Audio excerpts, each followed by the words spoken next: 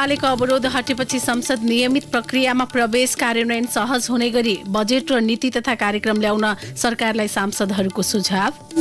स्थानीय तह निर्वाचनमा पछिल्लो विवरण अनुसार पाँच सय चार पालिकाको नतिजा सार्वजनिक नेपाली कङ्ग्रेसको अग्रता कायमै पर्साको कालिकामाई गाउँपालिकामा एक्काइस वर्षीय युवा अध्यक्षमा निर्वाचित।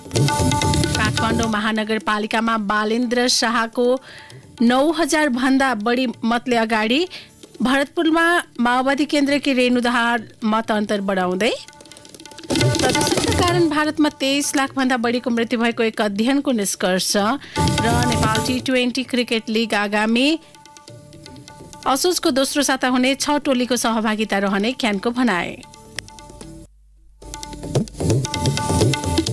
नमस्कार कान्तिपुर डायरीका साथमा सन्तोष र इन्द्रलक्ष्मी समाचार अब विस्तारमा। सुरुमा कान्तिपुर सविस्तार। कान्तिपुर सविस्तार। प्रमुख प्रतिपक्षी दल एमालेको अवरोध हटे हटाएसँगै प्रतिनिधि सभा आफ्नो नियमित प्रक्रियामा अघि बढेको छ। परिस्थिति फेरिएको भन्दै एमाले झण्डै नौ महिनादेखिको अवरोध अन्त्य गरेपछि प्रतिनिधि जनप्रतिनिधि थलो संसदमा बजेट अधिवेशनको दोस्रो दिन आज सबैजसो दलका सांसदहरूले अगाडि आगामी बजेटको प्राथमिकता सहित जनचासोको विषयमा धारणा राखेका छन्। उनीहरूले कार्यान्वयन हुने गरी बजेट र नीति तथा कार्यक्रम ल्याउन सरकारलाई सुझाव समेत दिए।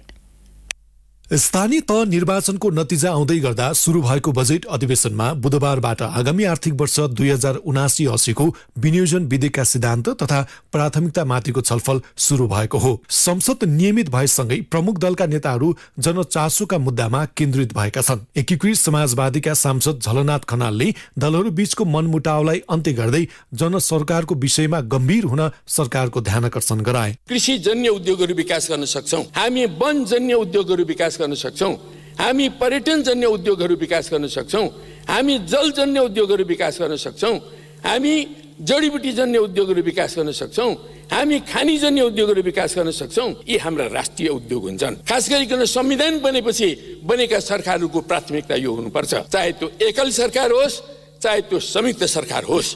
सत्तारूढ गठबन्धन कङ्ग्रेसकी सचेतक पुष्पा भूषालले उद्घाटन र शिलान्यासमा मात्रै सीमित हुने कार्यक्रमलाई बजेटको प्राथमिकतामा दिन नहुने तर्क गरिन्। कोभिड नाइन्टिनको प्रभावका कारण दुई वर्ष देशको आर्थिक क्षेत्रले ठूलो नोक्सानी भोग्नु परेको भन्दै उत्पादनमूलक क्षेत्रलाई प्राथमिकतामा राख्नुपर्ने उनको माग थियो। उनले भनिन् सरकारले उद्घाटन गर्ने शिलान्यास गर्ने भ्रमबाट मुक्त भएर आम नेपाली जनताको विकास राष्ट्रिय राजनीतिको स्थिरता र राष्ट्रिय विकासको लागि जनतालाई केन्द्रबिन्दु राखेर मुलुकको अर्थतन्त्रलाई सबलीकरणतिर अगाडि बढाउने किसिमबाट यो बजेटको तर्जुमा हुनेछ भन्ने कुरामा पनि हामीले विश्वास लिएका छौँ। नवौं र दशौं अधिवेशनमा अवरोध नछोडेको एमाले एघारौं अधिवेशनमा बिना शर्त अवरोध हटायो। जनताका आवश्यकतालाई परिपूर्ति गर्न संसद सुचारू अनिवार्य भएको भन्दै एमाले सर्वसाधारणका समस्या बजेटमा समावेश गर्न माग गरेको छ। एमाले सांसद योगेश भट्टराईले गठबन्धन सरकारको नीति तथा सिद्धान्त कागजमा मात्रै सीमित हुन नहुने बताए। उनले भने दस महिना मितिसक्दा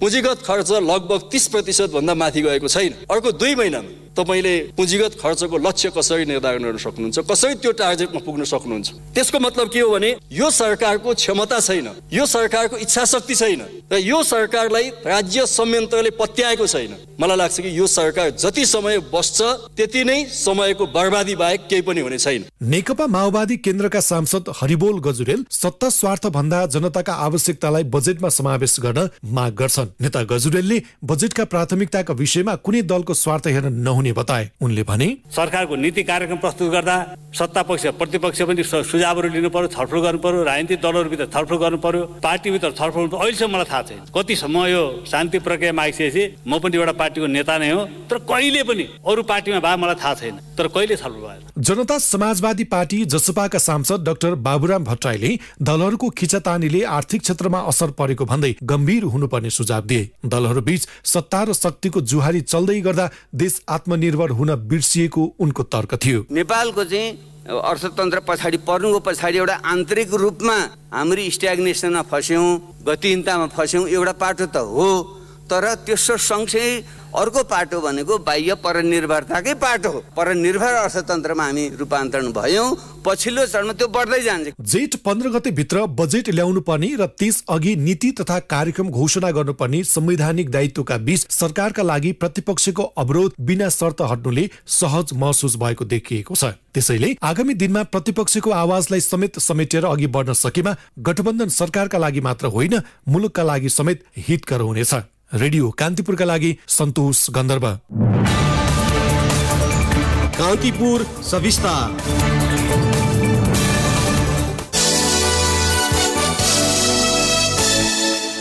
पछिल्लो विवरण अनुसार स्थानीय तह निर्वाचनमा अहिलेसम्म पाँच सय चार पालिकाको नतिजा सार्वजनिक भएको छ। पौने नौ बजेसम्म प्राप्त जानकारी अनुसार नेपाली कंग्रेसले दुई सय छब्बिस पालिकामा प्रमुख पद जितेको छ उसले नब्बे पालिकामा अग्रता बनाएको छ।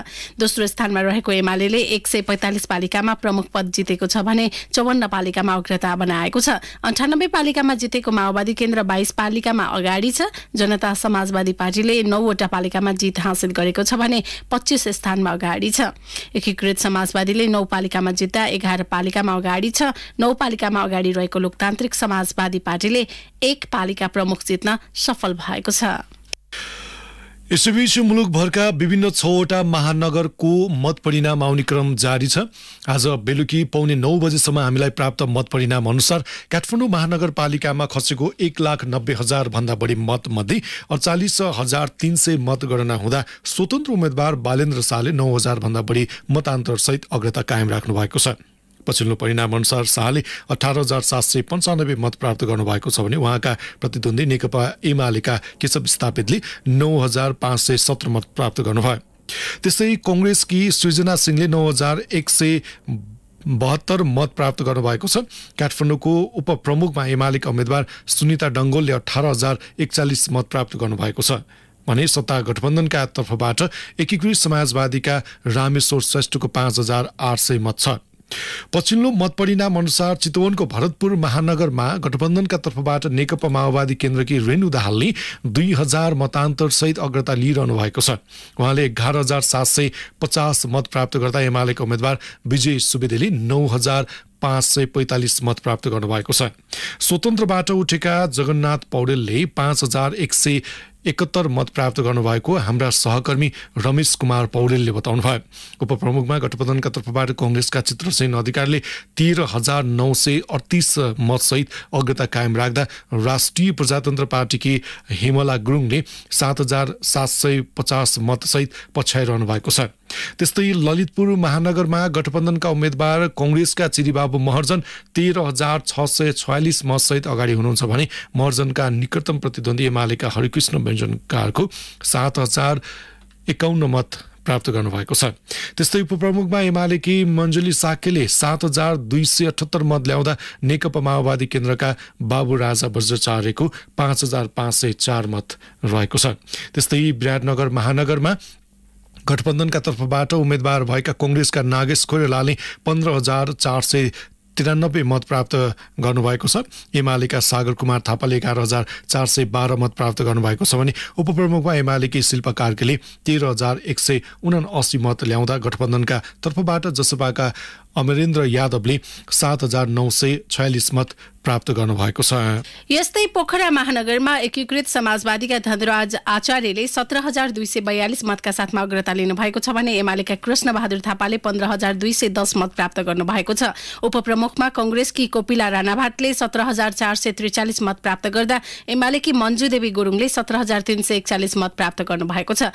यस्तै वीरगंजको पछिल्लो अपडेट अनुसार जनता समाजवादी पार्टीका राजेश मान सिंहले बाह्र हजार आठ सय अठहत्तर मतका साथमा अग्रता बनाइरहँदा एमालेका विजय कुमार सरावगीले सात हजार तीन मत प्राप्त गर्नु भएको छ।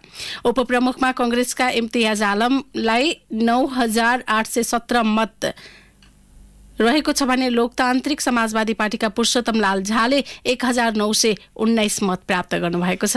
यसैबीच मुलुकका एघारवटा उपमहानगरपालिका मध्ये धनगढी र जनकपुरमा स्वतन्त्र उम्मेद्वारले अग्रता बनाइरहेका छन् त्यस्तै बाह्रको कलैया दाङको घोराई र तुलसीपुरमा एमाले अगाडि छ अन्यमा गठबन्धनले अग्रता बनाइरहेको छ। हालसम्म हामीलाई प्राप्त विवरण अनुसार धनगढी उपमहानगरपालिकाको मेयरमा स्वतन्त्र उम्मेद्वार गोपाल हमाल बाह्र हजार तिन सय चार मतका साथमा अग्रस्थानमा हुनुहुन्छ।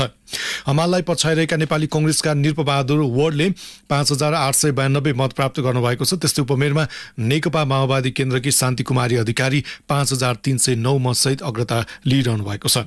एमालेकी कन्दकला कुमारी राणाले चार हजार सात सय मतसहित पछ्याइरहनु भएको छ हेटौँडा उपमहानगरपालिकाको प्रमुखमा एकीकृत समाजवादीकी उम्मेद्वार मिना कुमारी लामा तेह्र हजार छ सय अन्ठानब्बे मत प्राप्त गर्दा उहाँका निकटतम प्रतिस्पर्धी मेयरमा राप्रपाका दीपक बहादुर सिंहले तेह्र हजार बैसठी मतसहित पछ्याइरहनु भएको छ।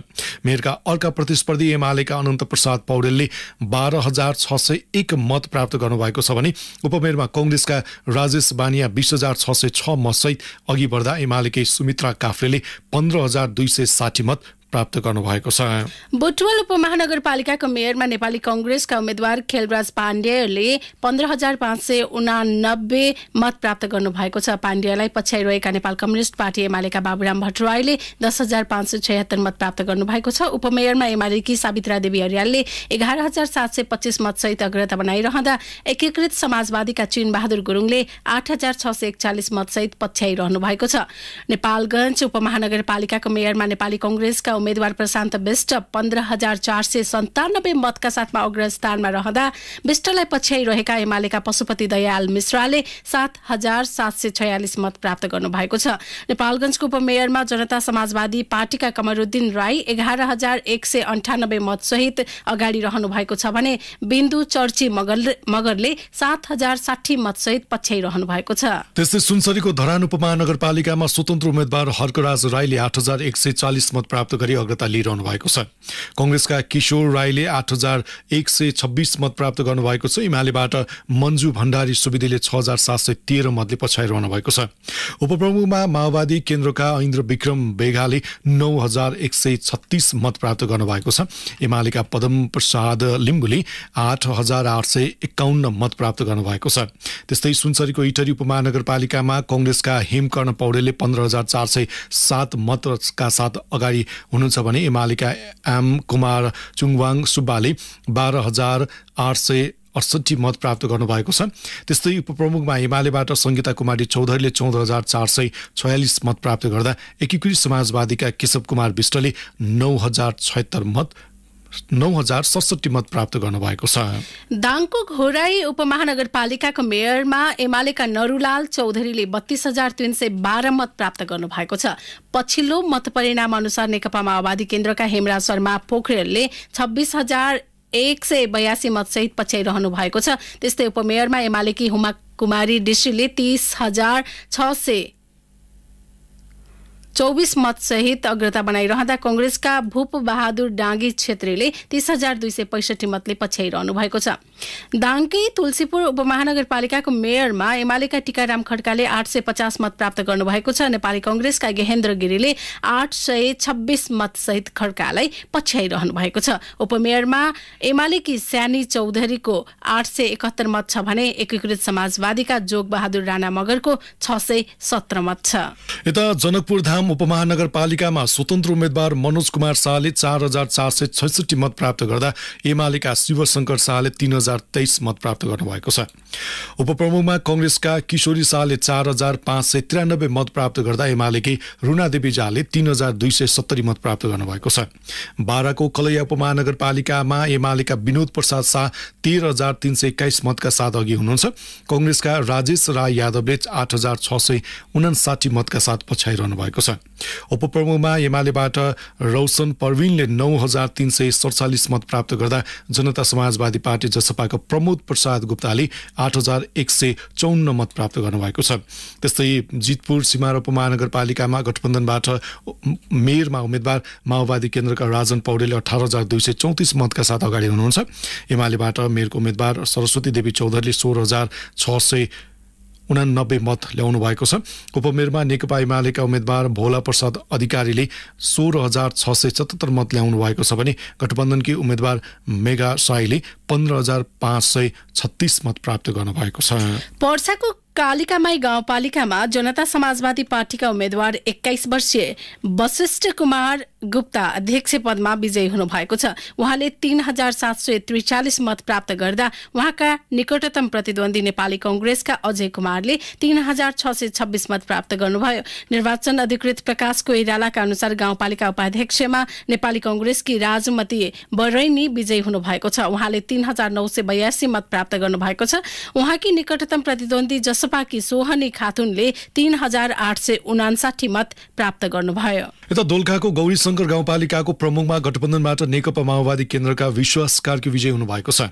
कार्कीले चार हजार सात सय एकाउन्न मत प्राप्त गर्नुभयो। निकटतम प्रतिस्पर्धी नेकपामा एमालेका जङ्गबहादुर गुरुङले तीन हजार सात सय सन्ताउन्न मत प्राप्त गर्नुभयो। त्यस्तै उपप्रमुखमा गठबन्धनबाट नेपाली कङ्ग्रेसका श्यामसुन्दर तामाङ विजयी हुनुभएको छ। उहाँले चार हजार सात सय एकचालिस मत प्राप्त गर्नुभयो। उहाँका निकटतम प्रतिस्पर्धी नेकपा एमालेकी मुना शिवाकोटेले तीन हजार दुई सय एकासी मत प्राप्त गर्नुभयो। बैतडीको पुचौडी नगरपालिकामा कंग्रेसले जित हासिल गरेको छ। नगरपालिकाको प्रमुख र उपप्रमुख दुवैमा कंग्रेस विजयी भएको हो। प्रमुखमा कंग्रेसबाट उम्मेद्वार बनेका दीपक बहादुर बमले पाँच हजार आठ सय अस्सी मतका साथमा विजय हासिल गर्नुभयो। उहाँका निकटतम प्रतिद्वन्दी एमालेका कर्ण बहादुर गुरुङ कुवरले तीन हजार नौ सय पैसठी मत प्राप्त गर्नुभयो। यस्तै उपप्रमुखमा पनि कंग्रेसकी मीना धानुको विजय हुनु भएको छ। उहाँले पाँच हजार दुई सय मत प्राप्त गर्दा निकटतम प्रतिद्वन्दी एमालेकी जानकी कुमारी बोहरालाई पराजित गर्नुभएको हो। पाँचतरको फिदिम नगरपालिकाको मेयरमा नेपाली कङ्ग्रेसका मित्रप्रसाद काफले निर्वाचित हुनुभएको छ। नेकपा एमालेका उम्मेद्वार पृथ्वी लावतीलाई हराउँदै काफ्लेले फिदिमको मेयर बन्न सफल हुनुभयो। काफ्लेले नौ हजार छ सय अठाइस मत प्राप्त गर्दा लावतीले नौ हजार सत्ताइस मत प्राप्त गर्नुभयो। त्यस्तै उपमेयर पदमा नेकपा माओवादी केन्द्रका राधाकृष्ण न्युपानेले निर्वाचित हुनुभएको छ। राप्रपाका जगत थापा मगरलाई फ्राइकुलो मत अन्तरले हराउँदै न्युपाने उपमेयरमा निर्वाचित हुनुभएको हो।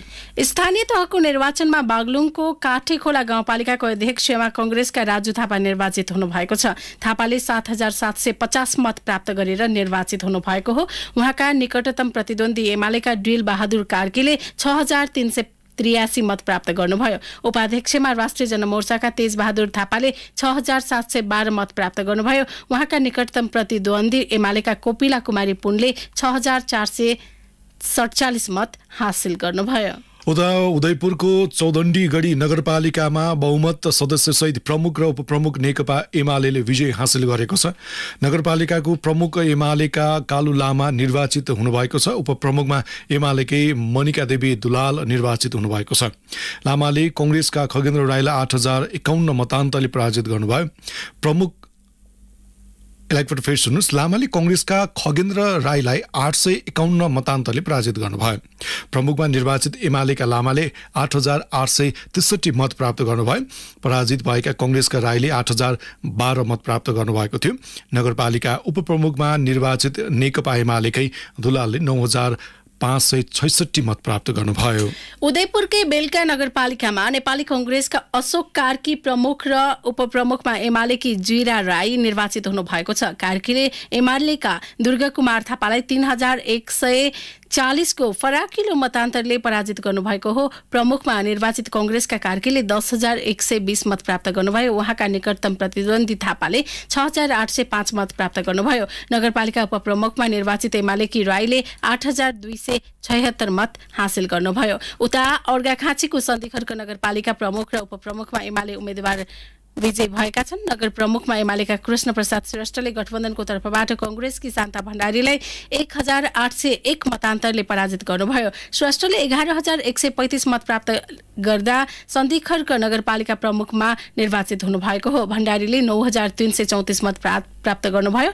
उपप्रमुखमा एमालेकी मिश्रा आचार्यले गठबन्धनको तर्फबाट माओवादीका राजेन्द्र भूषाललाई चार सय अठहत्तर मतान्तरले पराजित गर्नुभयो। आचार्यले नौ हजार छ सय छयालिस मत प्राप्त गरेर विजयी हुनुभएको हो। कान्तिपुर डायरीमा अब ब्रेकको पालो। अब बाँकी प्रसङ्ग सिराको सखुवा नकार कट्टी गाउँपालिकामा नेकपा एकीकृत समाजवादीका केदारनाथ यादव पुनः अध्यक्षमा निर्वाचित हुनुभएको छ। निकटतम प्रतिस्पर्धी नेपाली कङ्ग्रेसका शत्रुधन प्रसाद शाहलाई छब्बिस मत अन्तरले पछि पार्दै यादव निर्वाचित हुनुभएको हो। गाउँपालिका उपाध्यक्षमा भने नेपाली कङ्ग्रेसकी निलम यादव तीन हजार चार सय बैसठी मत प्राप्त गरी विजयी हुनुभएको छ। बाराको निजगढ नगरपालिकाको प्रमुख पदमा एमालेका सुरथ पुरी र उपप्रमुखमा सोममाया थिङ निर्वाचित हुनुभएको छ। पुरीले छ सय बाहन्न मतले गठबन्धनका उम्मेद्वार सुरेश खनाललाई पराजित गर्नुभएको हो। पुरीले नौ हजार चार सय पचहत्तर मत प्राप्त गर्नुभयो। उहाँका निकटतम प्रतिद्वन्दी खनालले आठ हजार आठ सय तेइस मत प्राप्त गर्नुभयो। उपप्रमुखमा थिङले निकटतम प्रतिद्वन्दी माओवादीका उम्मेद उपप्रमुखका उम्मेद्वार रविराज दङ्गाललाई एक सय एकचालिस मतले पराजित गर्नुभयो। पर्साको ठोरी गाउँपालिकाको अध्यक्षमा एमालेका लालबहादुर श्रेष्ठ चार हजार उनपचास मतसहित विजय हुनुभएको छ। निकटतम प्रतिस्पर्धी माओवादी केन्द्रका पदमलाल श्रेष्ठले तीन हजार तीन सय उन्तिस मत प्राप्त गर्नुभयो। उपाध्यक्षमा एमालेकी गोकुली कुमारी रेग्मीले चार हजार दुई सय उनासाठी मत पाएर विजय हुनुभयो। उहाँका निकटतम प्रतिस्पर्धी माओवादी केन्द्रकी निरु तामाङले तीन हजार त्रिचालिस मत प्राप्त गर्नुभएको थियो। धनकुटाको शहीद भूमि गाउँपालिका अध्यक्षमा नेकपा एमालेका मनोज राई चार हजार दुई सय चौध मतसहित निर्वाचित हुनुभएको छ। उहाँका निकटतम जित बहादुर राईले चार हजार सत्ताइस मत प्राप्त गर्नुभयो। उपाध्यक्षमा पनि एमालेकै रत्नश्वरी राई चार हजार छ सय बहत्तर मतसहित निर्वाचित हुनुभयो। निकटतम नेपाली कंग्रेसका तोर्ण बहादुर खड्काले तीन हजार तीन सय एकहत्तर मत प्राप्त गर्नुभयो। यसैबीच सत्तारूढ गठबन्धनलाई पराजित गर्दै चितवनको इच्छा कामना गाउँपालिकामा एमाले विजयी भएको छ। इच्छा कामनाका निर्वाचन अधिकृत ईश्वर आचार्य आचार्यका अनुसार गाउँपालिकाका अध्यक्षमा नेकपा एमालेका दानबहादुर गुरुङले छ हजार एक सय दस मत प्राप्त गर्नुभयो भने निकटतम प्रतिद्वन्दी गीता गुरुङले चार हजार छ सय आठ मत प्राप्त गर्नुभयो। रौतडको गौर नगरपालिकाको नगर प्रमुख पदमा एकीकृत समाजवादीका शम्भु शाह दुई हजार छ सय छब्बिस मत अन्तरले पराजित हुनुभएको छ। शाहले छ हजार तिन सय एकासी मत प्राप्त गर्नुभयो। उहाँका निकटतम प्रतिस्पर्धी लोकतान्त्रिक समाजवादीका अजय कुमार गुप्ताले तीन हजार सात सय पचपन्न मत प्राप्त गर्नुभयो। नगर उपप्रमुख पदमा एकीकृत समाजवादीकै शैलेश कुमारी शाह शैल कुमारी शाह चार हजार आठ सय नौ मतका साथ निर्वाचित हुनुभएको छ। शाहको निकटतम प्रतिस्पर्धी नेपाली कङ्ग्रेसकी शाहजान खातुनले तीन हजार छ सय पचासी मत प्राप्त गर्नुभयो। मोरङको सुनवर्सी नगरपालिकामा एमाले जित दर्ता गरेको छ। नगर प्रमुखमा एमालेका श्याम राजवंशी र उपमेयरमा मीरा देवी केवरत विजय हुनुभयो। राजवंशीले आठ हजार तीन सय उनाचालिस मतले जित हासिल गर्दा कंग्रेसका यज्ञ कार्कीले छ हजार नौ सय बाहन्न मत प्राप्त गर्नुभयो। उपमेयरमा एमालेकी केवरतले आठ हजार तीन सय त्रियासी मत प्राप्त गर्दा कंग्रेसकी विमला देवी केवरतले सात हजार चार सय सत्ताइस मत प्राप्त गर्नुभयो। चितवनको कालिका नगरपालिकाको मेयर उपमेयर दुवै पदमा नेकपा एमालेका उम्मेद्वारहरू विजयी भएका छन्। मेयरमा एमाले उम्मेद्वार विनोद रेग्मीले सत्तारूढ गठबन्धनबाट उम्मेद्वार रहेका नेपाली कंग्रेसका शिवराम केसीलाई एक सय त्रिचालिस मतान्तरले पराजित गर्नुभयो। कालिका नगरपालिकाका निर्वाचन अधिकृत महेश प्रसाद खत्रीका अनुसार विजयी उम्मेद्वार रेग्मीले दस हजार सात सय चौध मत प्राप्त गर्दा केसीले दस हजार पाँच सय एकहत्तर मत प्राप्त गर्नुभयो। त्यसै गरी उपमेयरमा एमाले उम्मेद्वार विमला तामाङ लामाले सत्तारूढ गठबन्धनबाट उम्मेद्वार रहेकी माओवादी केन्द्रकी सविता लामालाई सात सय एकसठी मतान्तरले पराजित गर्नुभयो। त्यसै गरी उपमेयरमा विमला तामाङ लामाले दस हजार चार सय उनान्चास मत प्राप्त गर्दा माओवादी केन्द्रकी सविता लामाले नौ हजार छ सय अठासी मत प्राप्त गर्नुभएको छ। यस्तै गोर्खाको गोर्खा नगरपालिकाको मेयरमा माओवादी केन्द्रका कृष्ण बहादुर राणा र उपमेयरमा कंग्रेसकी मसली माया थोकर पुनः विजयी भएका छन्। एक हजार आठ सय छप्पन्न मतान्तर सहित राणा विजयी बन्नुभएको हो। राणाले आठ हजार नौ सय चौसठी मत प्राप्त गर्नुभयो। उहाँका निकटतम प्रतिस्पर्धी नेपाली कंग्रेसबाट उम्मेद्वार बन्नुभएका राजन राजपन्त सात हजार एक सय आठ मत ल्याएर पराजित हुनुभयो। त्यस्तै थोकरले सात हजार चार सय त्रिपन्न मत प्राप्त गर्नुभयो। उहाँका निकटतम प्रतिस्पर्धी जनता समाजवादी पार्टीका नारायण खत्रीले छ हजार सात सय अठार मत प्राप्त गर्नुभयो। गोर्खा नगरपालिकामा माओवादी र जसपा बीच मेयर र उपमेयरमा चुनावी तालमेल भएको थियो।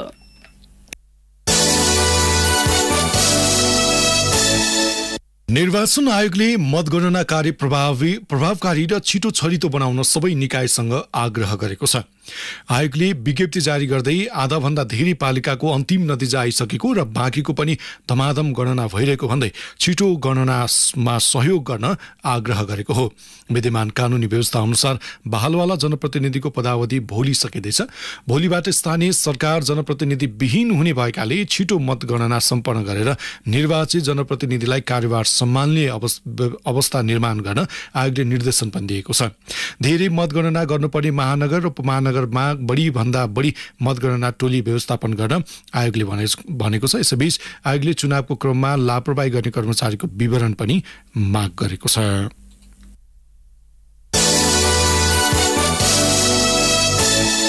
हेटौडा उपमहानगरपालिकामा स्थानीय तह निर्वाचनको निर्वाचनको मतगणना जारी छ।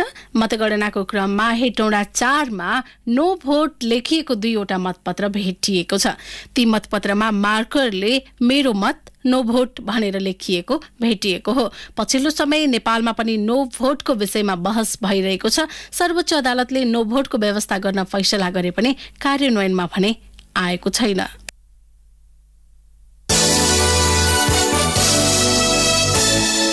पछिल्लो चौबिस घण्टामा नेपालमा छ जनामा कोरोना संक्रमण पुष्टि भएको छ। तीन हजार चार सय त्रिपन्न जनामा त्रिहत्तर जनामा गरेको परीक्षणबाट सो संख्यामा संक्रमण पुष्टि भएको स्वास्थ्य तथा जनसङ्ख्या मन्त्रालयले जनाएको छ। त्यस्तै आज आठजना संक्रमण मुक्त भएका छन्। स्वास्थ्य मन्त्रालयका अनुसार नेपालमा हाल सक्रिय संक्रमितको संख्या एक सय सडचालिस रहेको छ। कान्तिपुर डायरीमा पुनः ब्रेकको पालो। ब्रेकपछि अब आर्थिक प्रसङ्ग। चैत्रदेखि बन्द भएको सवारी चालक अनुमति पत्रको नयाँ आवेदन केही दिनभित्र खुल्ने यातायात व्यवस्था विभागले जनाएको छ।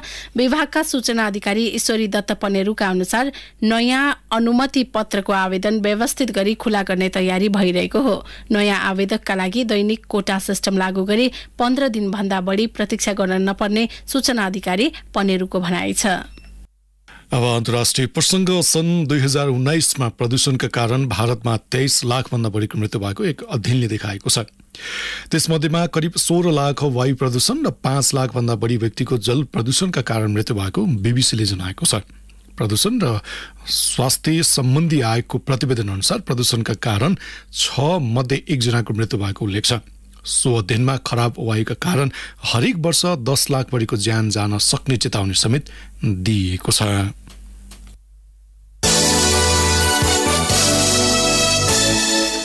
अब खेल समाचार Nepal T twenty cricket league आगामी असोजको दोस्रो साता हुने भएको छ। नेपाल क्रिकेट संख्यानका अनुसार लिग असोज आठदेखि कार्तिक पाँच गतिसम्म हुनेछ। पहिलो पटक हुन लागेको लिगमा छ टोली सहभागी हुने र त्यसका लागि तीन ग्रेडमा खेलाडीको वर्गीकरण गरिने क्यानले जनाएको छ।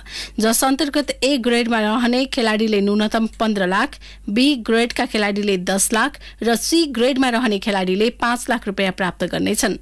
प्रतियोगिता किर्तिपुर स्थित त्रिवी क्रिकेट मैदानमा हुनेछ।